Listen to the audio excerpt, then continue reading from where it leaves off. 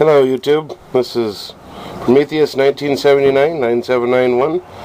I just thought I'd show you this.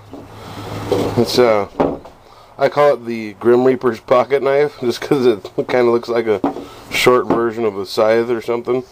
I realize it's not a scythe, but it's uh, it's actually a beet knife that that uh, my mom found and she gave it to me. I don't know, she found it in some warehouse or something or something or another.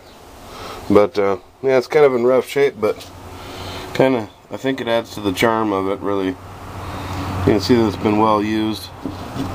It's actually really stinking sharp still, and you can see how thin that blade is. So it's still got quite a bit of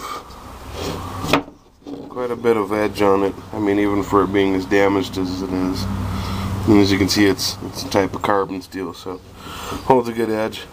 I actually had sanded this handle down at one point just to try to clean it up a little bit, but uh, I put some tape around it and it kind of put this gunk on it. I don't know. This thing just sits in my closet. I don't really do anything with it.